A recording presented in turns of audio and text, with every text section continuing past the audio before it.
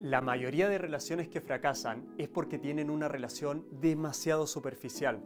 Pregúntale a una persona, oye, ¿por qué estás con tu pareja? Y te vas a dar cuenta que las respuestas son las mismas, muy superficiales. Porque me gusta, porque es bonita, porque me hace sentir bien, porque me respeta, porque tenemos tema de conversación, porque lo pasamos bien juntos. Normalmente las respuestas van en esa dirección y nunca te dan una respuesta un poquito más profunda. Si en este momento estás saliendo con una persona con la cual te proyectas, hazle estas siete preguntas que te van a permitir conocer a profundidad a la persona que tienes al frente y desde ahí puedes crear un vínculo mucho más duradero y real. Si estás preparado, comenzamos.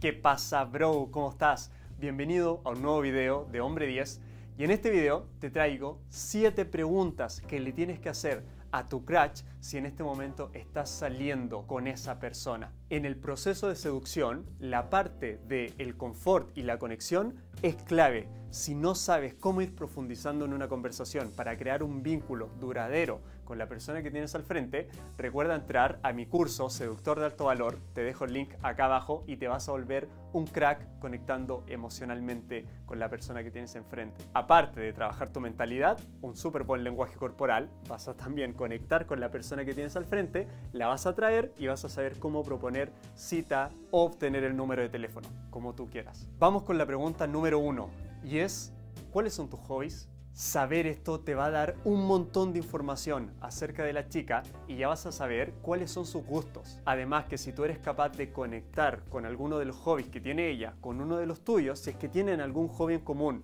o que se parezcan, desde ahí va a salir un montón de tema de conversación y se van a dar cuenta también que hay un montón de similitud. La segunda pregunta es ¿Cuál es tu pasión? No todas las personas del mundo viven de su pasión o ganan dinero con su pasión. Entonces, acá es donde tú vas a saber qué haría ella si no tuviese que trabajar nunca más. Este tipo de preguntas también da un montón de conversación y es súper divertido. Yo siempre le pregunto a la chica, oye, si en este momento ya tuvieses todo el dinero del mundo en tu cuenta, ¿qué harías mañana? Y la chica te puede decir viajar, conocer, no sé qué. Ok, ya viajaste por todo el mundo, ya conociste todo. ¿Qué harías ahora? Estos temas de conversación que llevan a la chica a imaginar son brutales porque en la imaginación no hay límites. Pregunta número 3. ¿Qué te mata las pasiones? Tan importante como saber qué es lo que atrae a una mujer es saber qué actitud aleja a esa mujer para que no vayas por el camino. Yo me acuerdo una vez, bro, que estaba hablando con un mentor y yo le comentaba que era incómodo para mí o para la mayoría de los hombres, porque también lo he visto en la mentoría élite, cuando la chica empieza a hablar del exnovio o lo que había pasado anteriormente. Entonces, este mentor sabiamente me dijo, cuando tú sabes por qué terminó una relación pasada, tienes un montón de información de por dónde no deberías ir. A lo mejor el chico era demasiado víctima, se daba por vencido, no tenía metas o tenías actitudes agresivas o no controlaba las emociones. Entonces tú ya sabes que si tú tomas alguna actitud parecida, vas a crear un anclaje, se va a acordar de una relación pasada, le va a matar las pasiones y eso te va a alejar de la chica con la que estás saliendo. Pregunta número 4. ¿Cuál es para ti una regla de vida? A nosotros como seres humanos nos puede mover un montón de cosas, o sea que hay una infinidad de caminos por donde podrías ir. Quizás la chica que tienes al frente la mueve el mundo físico, la mueve el dinero, la mueve el mundo espiritual, la mueve la inteligencia, quién sabe, lo mueve la naturaleza, el amor por los animales, la mueve el crecimiento, el viajar, el experimentar, quién sabe qué mueve a la chica que tienes al frente. Así que cuando tú le haces una pregunta tan directa como ¿cuál es para ti una regla de vida? Lo que te diga ya te está diciendo de qué significa la vida para ella. Vas a saber qué es lo que más valora. Pregunta número 5, clave, clave, clave. ¿Cuál es tu mayor miedo? Contarse secretos con la chica que está saliendo fortalece la relación.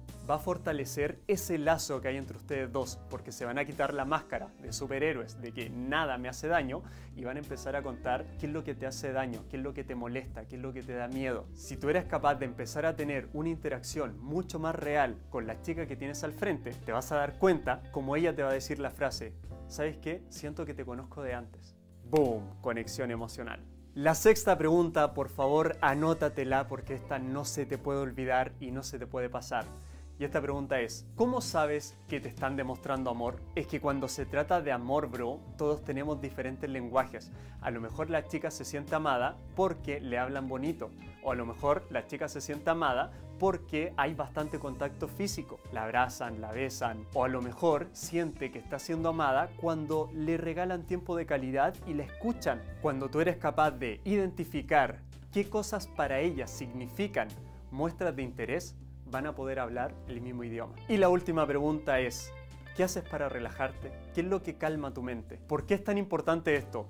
Porque si tú descubres algo que le guste hacer, que relaje su mente, o le divierta, o le quite el estrés, y tú también tienes eso en común, es la excusa perfecta para tener otra cita.